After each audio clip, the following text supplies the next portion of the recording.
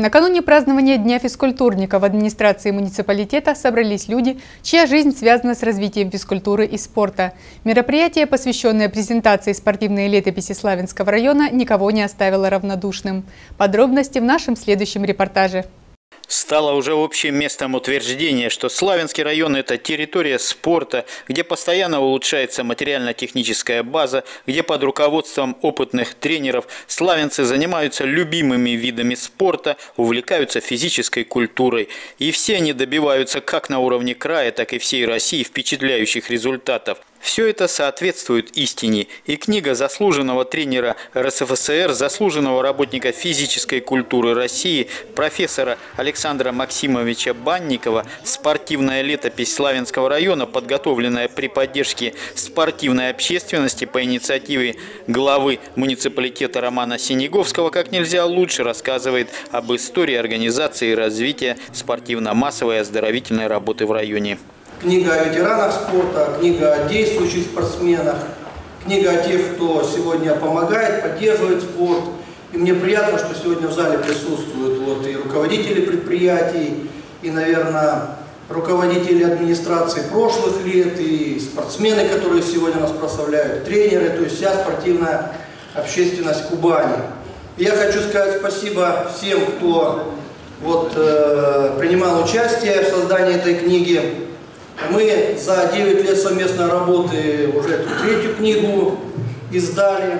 И, наверное, правильно оставлять после себя след, запечатлять, вот, наверное, подвиги жизни Славянского района, историю Славянского района. Автор книги Александр Банников подчеркнул, что он с большим удовольствием взялся за ее создание. И эти неравнодушие и понимание глубины и важности темы позволили ему полностью раскрыть ее и заинтересовать читателей. Я очень многих людей знал, со многими дружил, со многими даже выступал в соревнованиях, и мне было легко взяться за эту тему. Конечно, мне огромную помощь оказал э, весь коллектив э, спортивных работников, я в конце скажу, выражу благодарность. Но э, когда после первых наметок и первых подсчетов выяснились такая грандиозная картина, что Славянский район может спокойно соревноваться с крупными территориями субъекта Российской Федерации. Для того, чтобы двигаться вперед и уверенно смотреть в будущее, нужно хорошо знать свое прошлое. И такие книги, как эта, дают такую ценную возможность.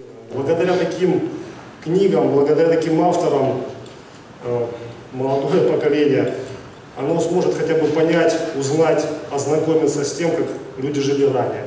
Поэтому искренне от всей души вас поздравляю с тем, что на вашей земле живут не безразличные люди, не безразличные к спорту. Славянский район действительно лидер, лидер нашей отрасли Краснодарском крае, да и, возможно, во всей стране.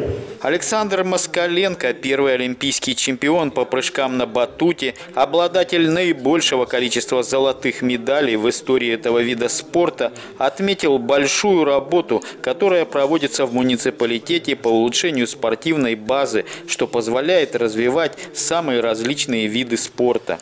Пользуясь случаем, конечно, хотел бы вам сказать всем огромное спасибо за ваш труд, за то, что вы делаете. Вы делаете гораздо больше, чем как у нас принято говорить, галочки секунды, там медали.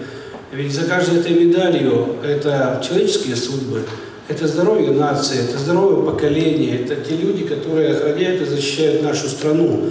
И это базисные основы, которые необходимы для каждого государства. Наш земляк, чья история восхождения на спортивный Олимп также нашла отражение в книге, заслуженный мастер спорта России Сергей Водопьянов поблагодарил всех, связанных со спортивной отраслью в Славянском районе, за большой напряженный труд. За этим всем стоит э, большая спортивная семья. Это не только спортсмены, это меценаты, это ветераны, это тренеры, это руководители, это главы районов, и нынешние, прошлые. Они все остаются у истоков и развития спортивной нашей инфраструктуры, спортивных результатов. Я хотел бы выразить огромную благодарность этим людям. Александр Прищепа, председатель редакционной коллегии спортивной летописи Славянского района, высоко оценил изданную книгу, в которой собранные по крупицам сведения позволили отразить спортивную историю муниципалитета во всей ее многогранности. называется летопись славянского спорта. Она как историческая энциклопедия. Там факты, там то, что было, там нету закатов, рассветов. Там есть история спорта, есть история краевая, есть мировая, откуда эти виды спорта, как они к нам приехали, кто стоял у истоков развития различных видов. Это действительно очень много сегодня видов спорта в Славянском районе, там 24 федерации. Они все динамично развиваются. Сегодня 8 базовых видов спорта, которые, ну действительно, и то, что 21 год, а я считаю, вот комплексная спартакиада, это показатель. Вы занимаете первое место славянской муниципалитете. Это вместе с вами. Это по 12 видам зачет.